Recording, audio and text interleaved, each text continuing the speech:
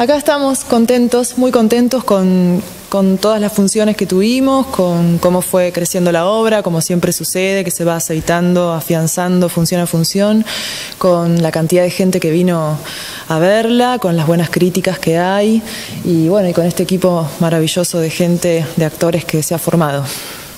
Bueno, y, y la última función se vive de otra manera que la primera. Y como más tranquilo también, porque ya como que la obra, lo que decía Mer, ya cobró su ritmo, ya sale ágil, uno ya puede jugar arriba del escenario porque ya tiene todo incorporado, ya sabe qué tiene que hacer, qué tiene que decir, entonces solo resta jugar y disfrutar. ¿Siempre se dijo lo mismo y se hace lo mismo?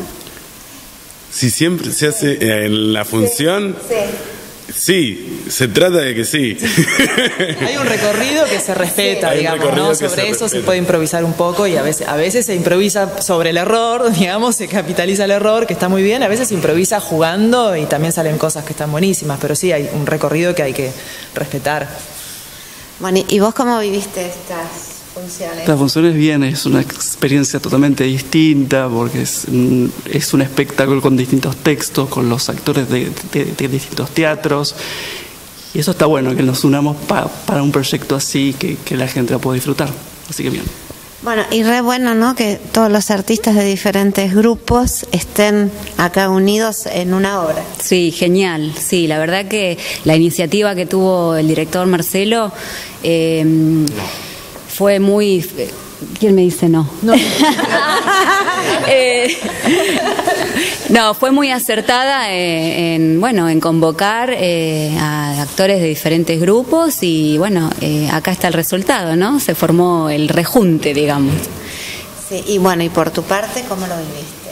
¿Cómo viste obra? Y bien, hay gente con la que vengo, que me conozco de hace varios años desde que empecé a hacer teatro y bueno, y gente nueva que, que muy buena experiencia. Siempre está bueno juntarse con la gente del palo como uno para hacer arte. Así que bien, muy bien, la verdad. Muy seria estás. Sí, cosa rara. Pensando qué va a decir. No, no. Realmente muy contenta. Hay un dejo de tristeza porque abandonar un trabajo que nos llevó mucho mucho tiempo.